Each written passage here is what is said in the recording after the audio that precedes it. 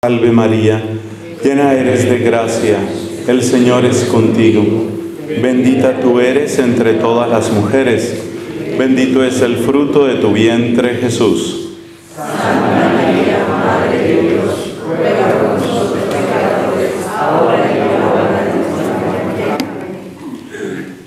Amigos queridos, vamos llegando al final de nuestro retiro de Adviento. Y lo que encontramos es que la fe es un camino y que en ese camino nosotros recibimos verdaderamente el tesoro de la amistad divina.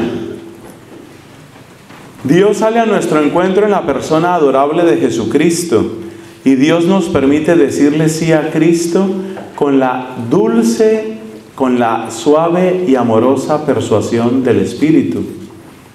El Espíritu obrando adentro de nosotros y el testimonio de Cristo que reciben nuestros oídos y que llega desde fuera de nosotros hacen una especie de sándwich, un emparedado. Y en ese sándwich el jamón somos nosotros. Y quedamos amablemente atrapados en la emboscada de amor que Dios nos ha hecho. La conversión la podemos describir como una emboscada de amor. La fe no es un reemplazo, no es el nombre que le ponemos a nuestra ignorancia. Los científicos que dicen que la fe es el nombre de la ignorancia, es decir, lo que no hemos logrado todavía demostrar en la ciencia, se equivocan. La ciencia va en la línea del conocimiento, la fe va en la línea del sentido. El conocimiento es supremamente útil, el conocimiento es poderoso, el conocimiento sirve para muchas cosas, pero el conocimiento no resuelve el sentido. Yo puedo tener un conocimiento maravilloso sobre la dinamita y con la dinamita puedo hacer túneles que alivian la vida y que hacen más amable la existencia y la economía de un país o puedo utilizar la dinamita para despedazar vidas inocentes. La ciencia no resuelve el sentido. De hecho, la ciencia, y esto es importante decirlo ahora que tenemos algunos otros jóvenes en nuestro auditorio, la ciencia ni siquiera tiene una claridad ética, porque la ciencia simplemente comprueba lo que sucede. No puede hablar sobre qué debería suceder. La ciencia puede decir, si tú no comes y después dejas de comer y después no comes y sigues sin comer, te mueres. Ese es un hecho. Pero ¿es bueno o es malo dejarse morir de hambre como lo hace un anoréxico? ¿Es bueno o es malo? Eso no lo va a decir la ciencia. La ciencia te dice lo que sucede. Eres tú quien toma decisiones. Y entonces, ¿cuál es la luz para tomar las decisiones? No es la luz de la ciencia. La luz que permite tomar las decisiones es la luz que responde a dónde está mi bien más profundo. ¿Cuál es mi bien más profundo? Y el bien más profundo no se descubre en clave de conocimiento, simplemente se descubre en clave de amor. ¿Cuál es el amor? El amor suficiente para cruzar la travesía por este mundo. Y ese amor es el que vemos resplandecer en cada palabra, es el que vemos aparecer en cada milagro, es el que aparece en cada exorcismo, ese es el que brilla en las manos, en los ojos, en la sonrisa, en el corazón de Jesús. Entonces es ese amor bendito de Jesucristo, es ese amor de su santo y sagrado corazón es ese amor el que se convierte en una razón para nosotros asumir la vida de otra manera. Y desde el encuentro, a partir del encuentro con Jesucristo, a partir del encuentro con Él, entonces surge la fe. La fe no es una apuesta a ciegas, por favor, los que están en college, los que están en universidad, los que están en high school. No es una apuesta en el vacío. La fe no es ciega. La fe surge de ver. Veo las señales de un amor grande. Por eso creo. Una frase muy bella que aparece en el Evangelio de Juan es aquel momento en que el discípulo amado, seguramente el mismo evangelista, entra en la tumba vacía, kai eiden, kai episteusen, y vio y creyó.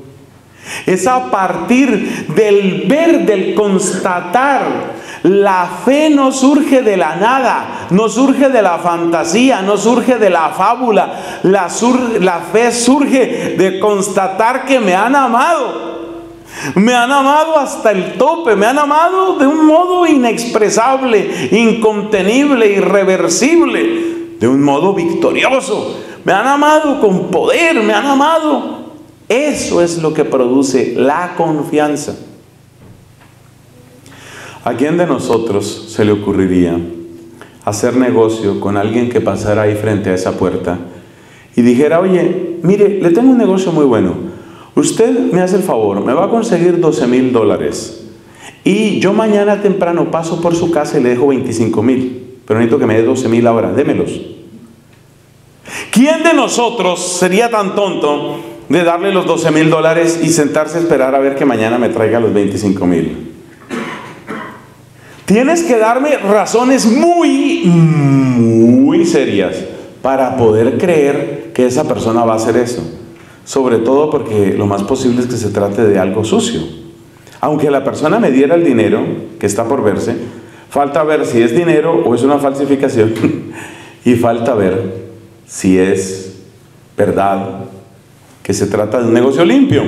Entonces la confianza no surge de la nada y una de las dimensiones principales de la confianza, de la fe, es la dimensión existencial. Y la dimensión existencial es que yo pongo mi existencia en las manos de, en las manos de Cristo. ¿Y yo cómo voy a poner mi existencia en las manos de un desconocido? Una persona que tiene su familia, por ejemplo, se le ocurriría decir, voy a poner en riesgo el futuro de mis hijos, los 12 mil dólares de ahorros que teníamos para estas semanas o para estos meses, los voy a poner en manos de un desconocido? No, uno tiene que saber quién es. La fe no surge de la ignorancia, la fe no surge de la fantasía, la fe no surge de la fábula, la fe surge de un encuentro que tiene todo, todos los ingredientes de la credibilidad. Así que hermanos, la fe viene de la credibilidad. La credibilidad se constituye por las señales de amor que recibimos. Bueno, ¿y hasta dónde llegan esas señales de amor y hasta dónde llega esa confianza? Lo vamos a ver en el capítulo número 16 de los Hechos de los Apóstoles. El capítulo 16 fue aquel capítulo que empezamos a leer con la historia de la señora Lidia. Qué importantes las señoras en la evangelización, muy importantes. Señoras son importantísimas. Los únicos movimientos eclesiales que funcionan son los que son adoptados por señoras. Lo que no adopte una señora no sirve. Las señoras son las que dan la vida a los movimientos eclesiales, como le pasó aquí a Lidia. Lidia recibió, adoptó, nació en su corazón nació en su corazón el mensaje de Cristo y ella así, recibiendo a Cristo, permitió que ese Cristo creciera. ¿Qué pasó después? Dice aquí, sucedió que al ir nosotros al lugar de oración nos vino al encuentro una muchacha esclava poseída de un espíritu adivino que pronunciando, que pronunciando oráculos producía mucho dinero a sus amos. Esto suele suceder.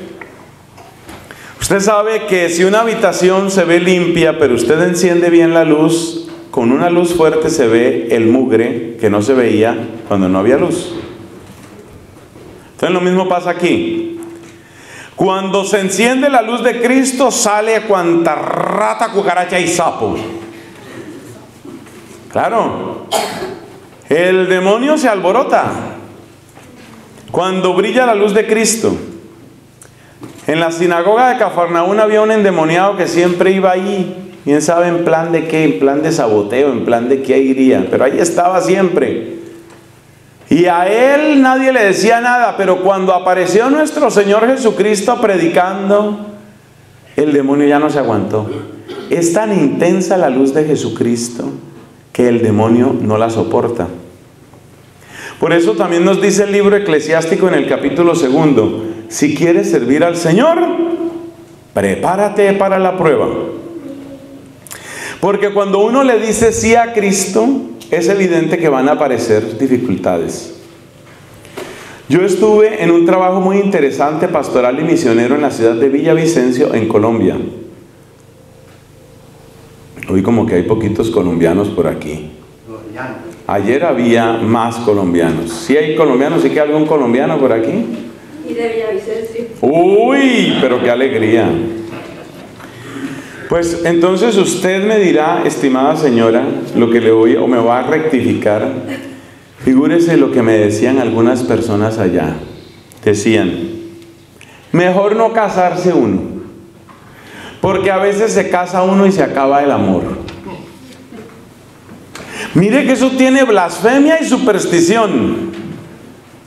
Blasfemia, porque se está diciendo que Cristo llega a destruir algo bueno.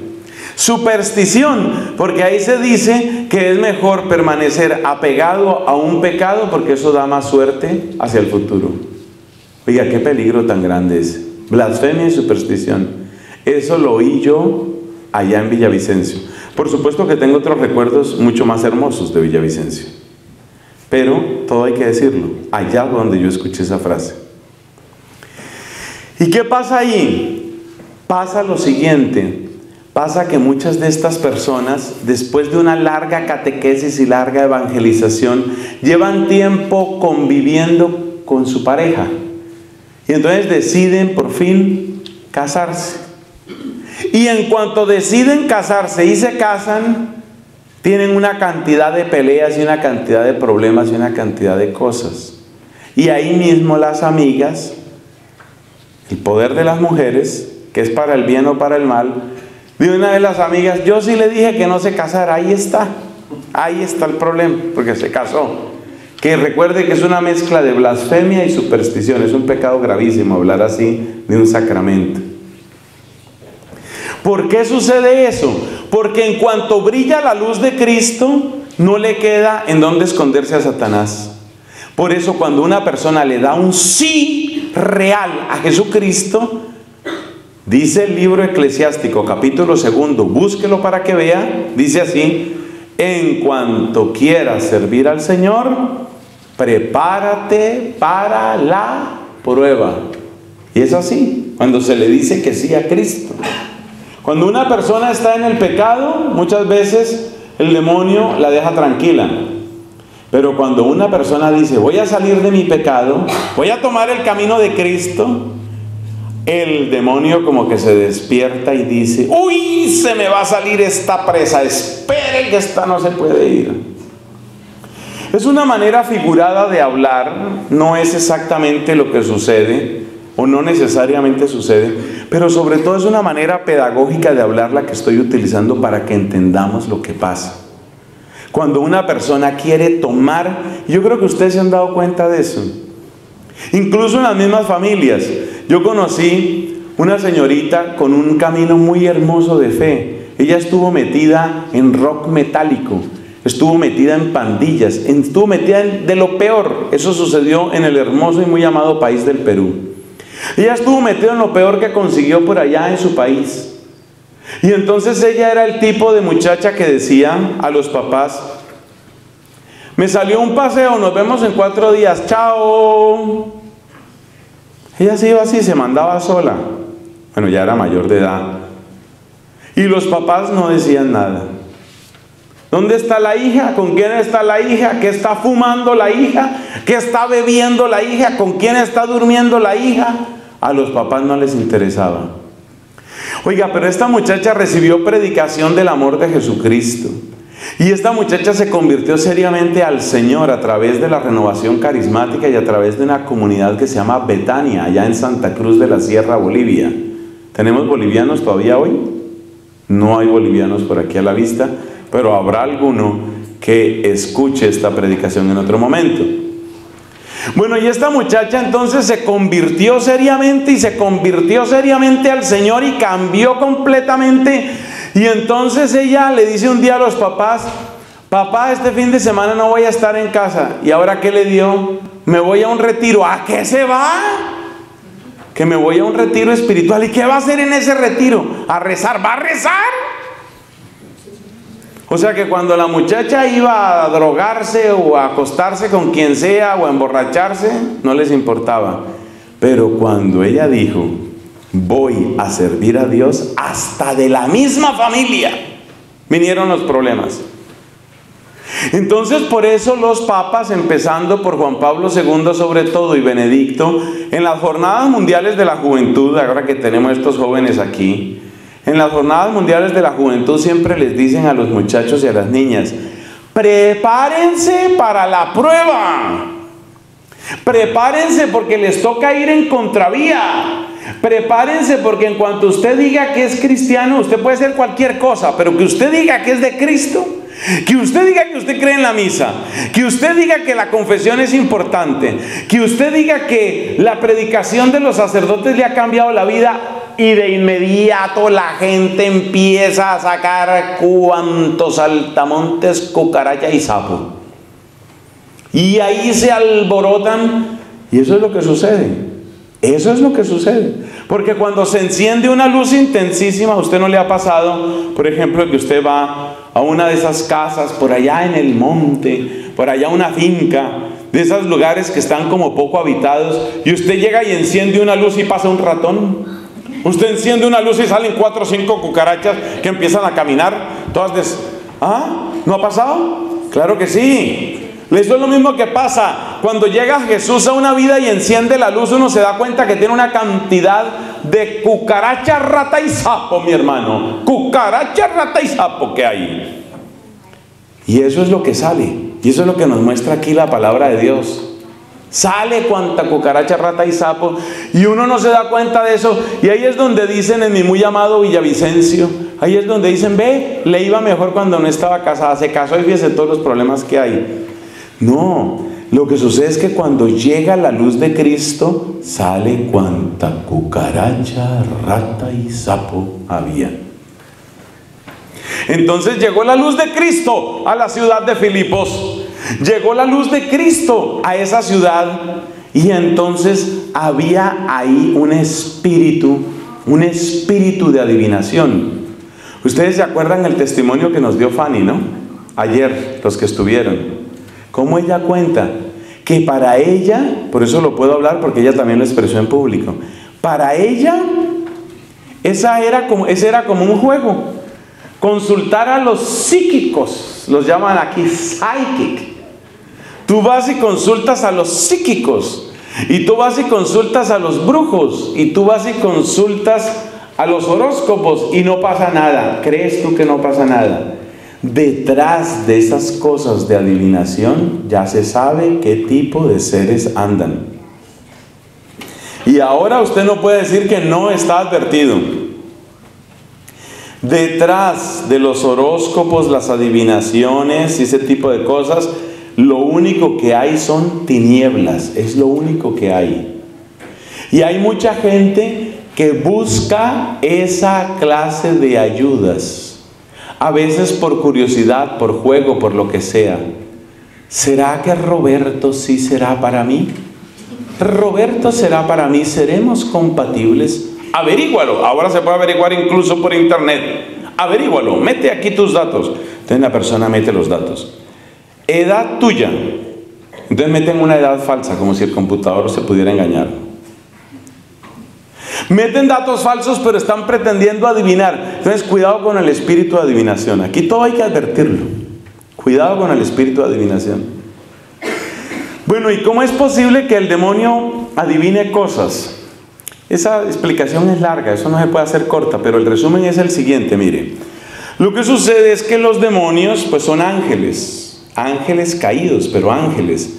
Y en cuanto a ángeles, siguen poseyendo una capacidad intelectual y una capacidad de análisis y de observación. Según Santo Tomás de Aquino, los ángeles no lo saben todo, por supuesto que no, pero los ángeles son extraordinariamente inteligentes Y los ángeles pueden saber muchísimas cosas, muchas, pero las saben sobre todo por vía como de deducción, podríamos decir, a partir de las señales del comportamiento humano. Entonces, lo mismo que una persona que tuviera muchísima información y muchísima inteligencia puede hacer ciertas predicciones y funcionan, calcule usted lo que es un ángel haciendo predicciones. Por eso existe el espíritu de adivinación. Pero lo que había detrás de eso era una persona posesa. ¿Y qué sucedió? La esclava esa seguía a Pablo y a nosotros, ahí está hablando Lucas que estaba ya como parte del grupo, gritando, estos hombres son siervos del Dios Altísimo que os anuncian un camino de salvación. Venía haciendo esto durante muchos días. ¿Qué cosa tan extraña es el demonio? ¿Qué cosa tan extraña es el demonio? Porque aparentemente estaba prestando un servicio. Fíjate la frase que decía, estos hombres son siervos del Dios Altísimo, ¿verdadero o falso? Verdadero. Os anuncian un camino de salvación, ¿verdadero o falso? Pero diciendo verdades se burlaba. Es que el demonio, el demonio es cosa seria. Y tenemos que pedir al Señor, mientras esto predicamos, que nos cubra con la santísima sangre de Cristo. El demonio es serio. ¿Tú te acuerdas que varias veces dicen los evangelios que los demonios querían revelar quién era Cristo, pero Cristo no se lo permitía, sino que los mandaba a callar? Lo mismo que está pasando aquí. Lo mismo. ¿Por qué el demonio dice una verdad? Es la primera pregunta. ¿Y por qué Cristo manda que esa verdad sea callada? Eso pasa en los evangelios y vemos que pasa también aquí. Estos hombres son, ¿cómo dice? Siervos del Dios Altísimo, ¿verdad? Os anuncian un camino de salvación, ¿verdad? ¿Por qué si estaba diciendo verdad? ¿Por qué Pablo en el nombre de Cristo, como vamos a leer en un momento, los manda a callar? La respuesta es sencilla. Porque una profesión de labios sin una obediencia de corazón no es una alabanza, sino una burla. Imagínese usted un esposo que es el único que trabaja en la casa y llega a la casa, a su casa, y le dice a la esposa, amor mío, nadie es más importante en mi vida, yo te quiero tanto, eres tan valiosa para mí. Ay, eso es muy lindo oírlo, muy hermoso para una mujer casada, es muy lindo escuchar eso. Eres preciosa para mí, yo te quiero muchísimo, mi amor. Gracias. Mm, ¿Qué palabras tan lindas dices? ¿Sabes una cosa? No tenemos nada, nada en ese refrigerador. No hay nada para preparar, no hay nada de comida. Tenemos que comprar algo. Mi amor, yo te quiero tanto. Tú eres tan bella, eres tan hermosa. Estás vuelta a un esqueleto porque nunca te doy nada para comer. Pero eres tan hermosa, eres tan bella. Tengo hambre. ¿Te ves tan linda cuando dices que tienes hambre? No sé, esa, boca tuya cuando tiene hambre se ve tan bonita. Ya esas frases ya no suenan bien. Hay algo satánico ahí. Entonces, la frase parece un elogio. La frase parece una alabanza. Pero la frase lleva por dentro una burla. No obro como esposo, sino obro como un torturador, pero sigo utilizando el lenguaje de esposo. Eso es lo mismo que pasa ahí. Entonces, ¿por qué Cristo rechaza las supuestas profesiones de fe y hay que ponerlo entre comillas? Las supuestas confesiones de Satanás, ¿por qué las rechaza? Porque no tienen el rendimiento de una obediencia de amor, que es a lo que viene Cristo a esta tierra. ¿Por qué Pablo finalmente rechaza esas profesiones de fe de esta mujer? Porque no tiene una obediencia de amor. Ahí sigue el demonio. O sea que en el fondo la palabra del demonio es, aquí está Dios, aquí está Dios, pero debajo de eso, ¿qué está diciendo? Aquí está Dios y aquí sigo yo, aquí está Dios y aquí sigo yo, aquí está Dios y aquí sigo yo. Dios no puede conmigo. ¿Ya entendiste la burla de Satanás? Eso es lo que él está diciendo. Aparentemente está diciendo cosas ciertas. Estos hombres son siervos del Dios Altísimo. Os anuncian un camino de salvación. Y eso lo gritaba y lo gritaba y lo gritaba y lo gritaba. Que también es burlita eso. Lo gritaba y lo gritaba. Pero lo que estaba diciendo Satanás ahí era, aquí está Dios y aquí sigo yo y Dios no puede conmigo. Aquí está Dios y aquí sigo yo y Dios no puede conmigo. Entonces Pablo, que tenía un discernimiento profundo de espíritus, se da cuenta finalmente que eso no es ninguna ayuda a la evangelización, que eso es una burla y que detrás de eso solo está Satanás. Venía haciendo esto durante muchos días. Cansado, Pablo se volvió y dijo al espíritu, en nombre de Jesucristo, te mando que salgas de ella. Y en el mismo instante salió el demonio se acabó el demonio de adivinación. Pero si se acabó el, el demonio de adivinación, se acabó el negocio de la adivinación. Al ver sus amos que se les había ido su esperanza de ganancia, prendieron a Pablo y a Silas y los arrastraron hasta el ágora. El ágora era la plaza pública ante los magistrados. Los presentaron a los pretores romanos y dijeron, estos hombres alborotan nuestra ciudad, son judíos, predican unas costumbres que nosotros por ser romanos no podemos aceptar ni practicar. La gente se amotinó contra ellos. Los pretores les hicieron arrancar los vestidos y mandaron azotarles con varas. Después de haberles dado muchos azotes, los echaron a la cárcel y mandaron al carcelero que los guardase con todo cuidado. Esto sucedió en la ciudad de Filipos. La historia que estamos leyendo está en el capítulo número 16 de los Hechos de los Apóstoles.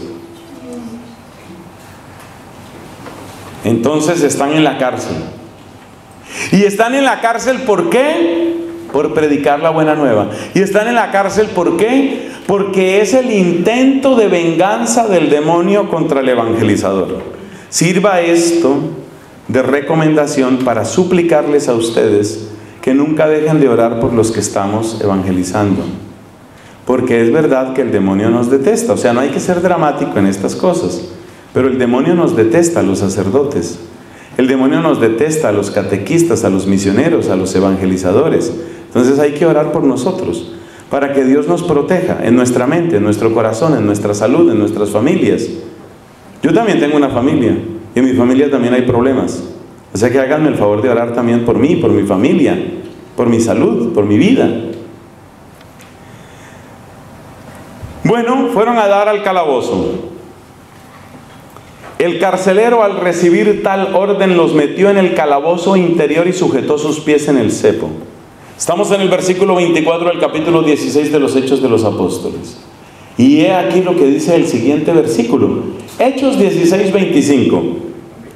Hacia la medianoche, Pablo y su compañero Silas estaban en oración cantando himnos a Dios.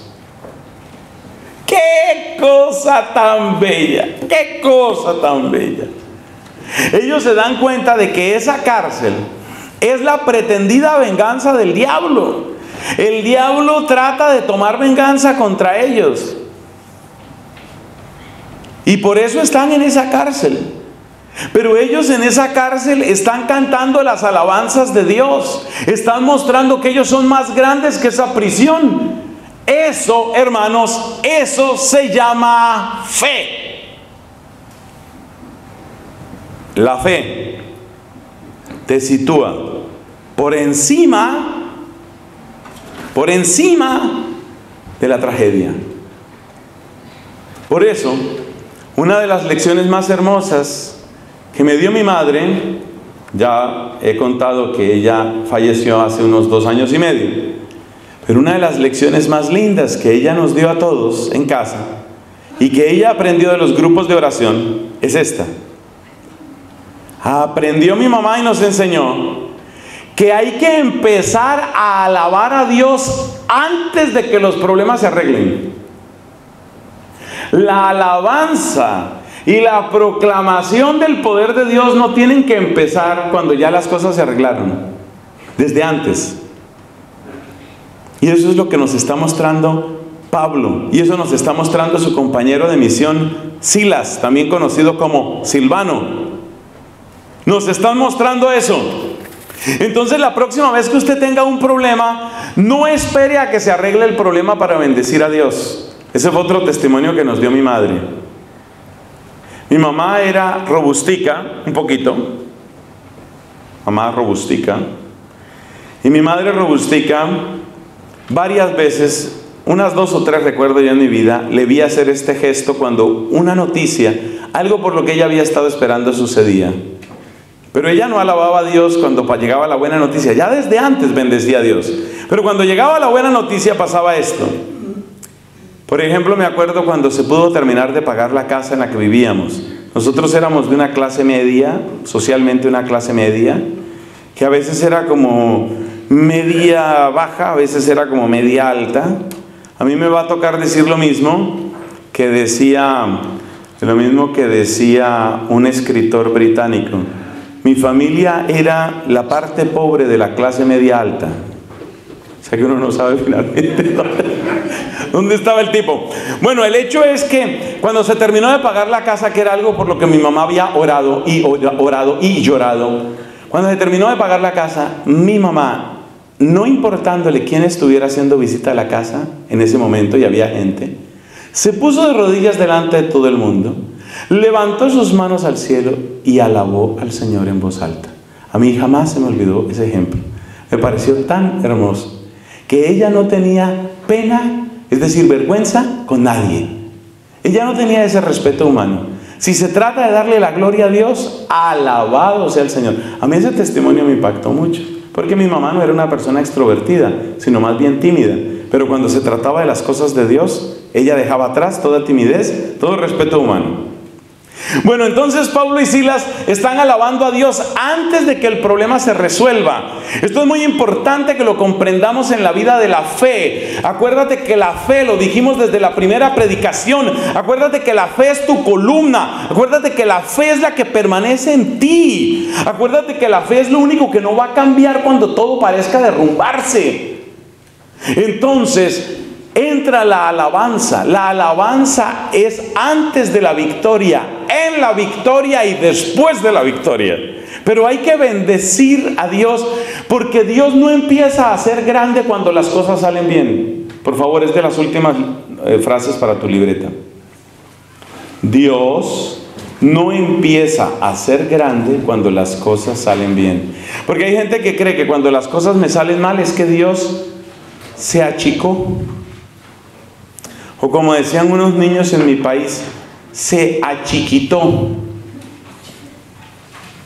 Dios no se vuelve chiquito cuando los problemas son grandes, ni se vuelve grande cuando los problemas son chiquitos. Dios siempre es grande, Dios siempre es santo, siempre es poderoso, siempre. Entonces, si Dios siempre es grande y siempre es poderoso, yo no puedo empezar a alabarle cuando las cosas están bien, como diciendo que cuando estaban mal era que Él estaba chiquito o estaba enfermo o estaba distraído o estaba... No, yo no puedo decir eso. Dios siempre es grande. Dios no empieza a ser bueno cuando a mí las cosas me salen bien. Agregue esa frase a su libreta, por favor.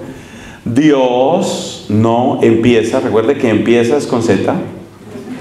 Dios no empieza a ser bueno cuando las cosas salen bien. Entonces Pablo muestra lo que es la fe. La fe es eso. La fe, por eso también dice la carta a los hebreos, es como ver al invisible. Porque yo todavía no veo el resultado. Yo todavía no veo lo que Dios está haciendo, pero yo sé que Dios lo está haciendo. Es como cuando usted va donde un buen médico y el médico tiene que hacer una operación. A mí, por ejemplo, tuvieron que hacerme hace poco una operación en la boca, era con anestesia local, o sea, me anestesiaron algo así como la mitad de la cara. En un momento dado yo sentí que yo era la mitad de yo. me anestesiaron como media cara. Una sensación rarísima porque uno no siente nada. Y como tenían que meterse con el hueso, esta parte aquí, ¿sí? Por eso me cambió un poco la sonrisa, pero quedó bien, creo. Entonces, cuando tuvieron que meterse con el hueso, entonces yo oía cómo tronaba ese hueso, pero yo no sentía nada porque la anestesia esa es muy poderosa. Entonces eso suena, estaban por allá taladrando el hueso, no sé qué estaban haciendo. Yo no sé qué está haciendo el médico, no entiendo nada, pero yo sé que está haciendo algo bueno, algo que es para mi bien. Entonces yo estoy agradecido con mi médico aunque no entiendo lo que está haciendo. Es un ejemplo tonto, pero es un ejemplo que sirve para decir, esa es la fe. Yo no entiendo lo que tú estás haciendo, Señor, no entiendo lo que está pasando en mi vida, pero desde ya te estoy bendiciendo, desde ya te estoy agradeciendo. No entiendo lo que pasa. ¿Será que me estoy acordando demasiado de mi Santa Madre? Pero es que hubo otra historia que fue impresionante cuando mi papá se quedó sin trabajo y él era la única fuente de ingreso en la casa. Es que en mi familia pasa lo mismo que en todas las familias. En mi familia la gente se queda sin trabajo, la gente se enferma, la gente se muere, la gente se separa, la gente tiene peleas, la gente tiene hambre, ¿cierto? Todo lo que pasa en todas las familias. Ustedes no se imaginen la familia de un sacerdote demasiado distinta, ni se imaginen al sacerdote demasiado distinto. Entonces, resulta que la única fuente de ingresos que teníamos era el sueldo de mi papá y por unas cosas políticas horribles mi papá se quedó sin trabajo y el pobre hombre estaba devastado.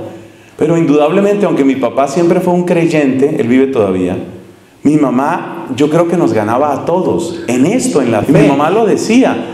Y ella lo decía descaradamente como hija mimada de Dios. Ella lo decía, yo todo lo resuelvo con la oración. Esa era la frase de ella. Y es verdad, todo lo resolvía con la oración.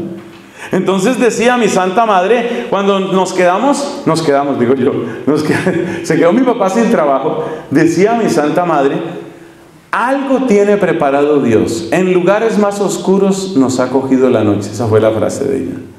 En lugares más oscuros nos ha cogido la noche. Algo tiene preparado Dios. Así le respondió la llamada telefónica a mi papá en la que le estaba contando, no tenemos un dinero para vivir.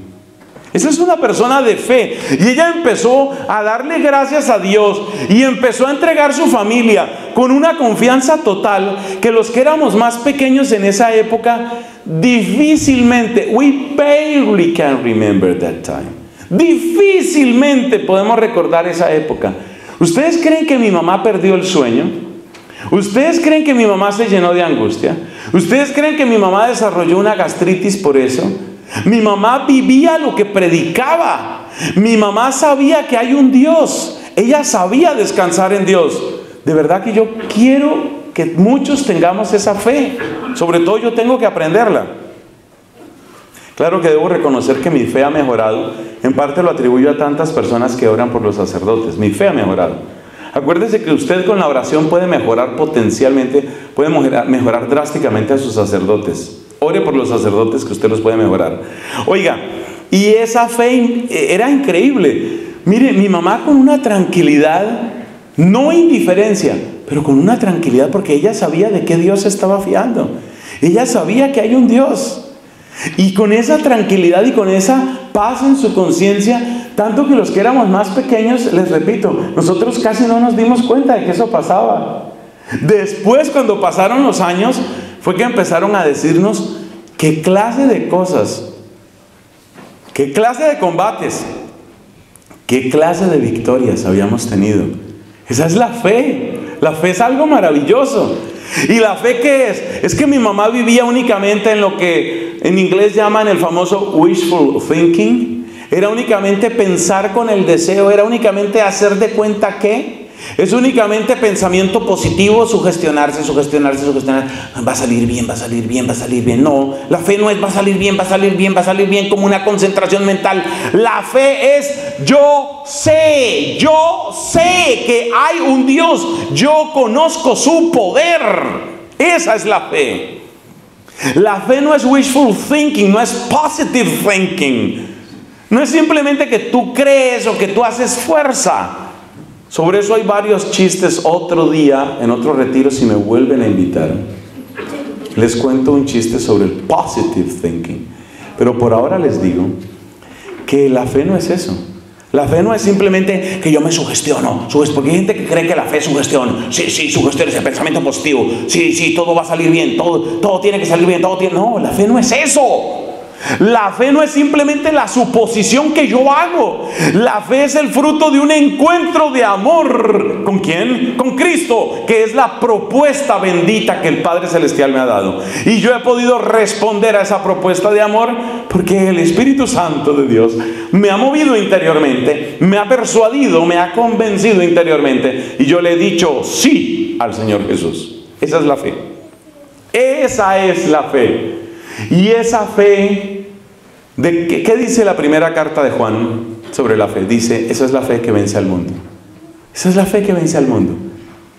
Y yo lo vi, yo lo vi en mi hogar, y yo lo vi en tantas personas, y es lo que vemos en los santos. La fe vence al mundo, la fe es más poderosa. Y la historia demuestra eso. Y nuestros últimos minutos, porque esto está llegando a su final, señoras y señores, es el final del retiro. Los últimos minutos son para decir que eso es lo que nos muestra la historia.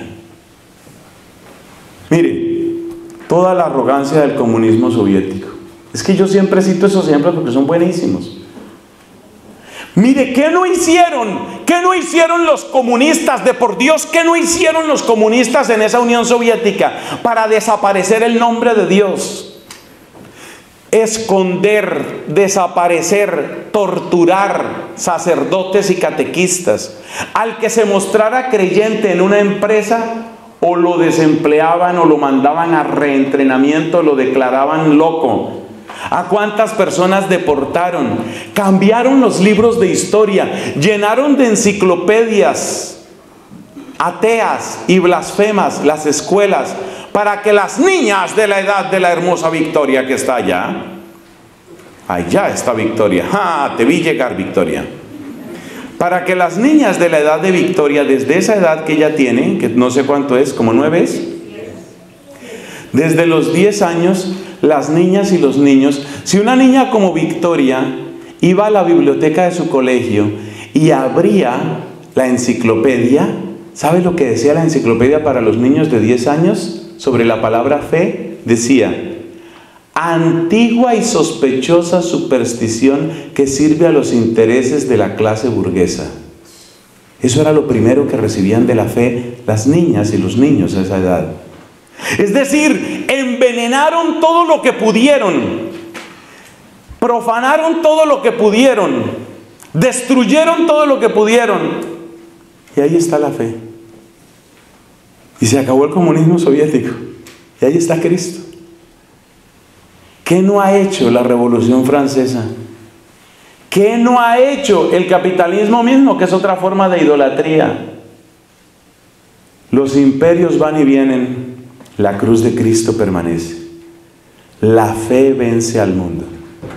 Ten la convicción de que el tesoro de la fe que tú le des a tus hijos, el tesoro de la fe que les des a tus amigos, pero el tesoro de la fe no son simplemente ideas. El tesoro de la fe nos lo dice muy bien el Papa Benedicto, es sobre todo el encuentro vivo con la persona viva de Jesús. El encuentro vivo con el Dios vivo. Esa fe que tú le puedas dar a tus amigos, a tus hijos, a la gente que tienes cerca. Esa fe, esa fe bendita, esa es la que vence al mundo. Ese es el mejor regalo. Si tú eres evangelizador en tu familia, si tú logras, primero Dios, pero si tú logras transmitir esa fe a tus hijos, les has dado algo que dura toda la vida y toda la eternidad. Porque el bien que trae la fe no acaba con la muerte. Esa es la verdadera construcción de una familia. Ese es el tesoro más grande que le puedes dar. Mi fe, mi familia, mi tesoro. Gloria al Padre y al Hijo y al Espíritu Santo.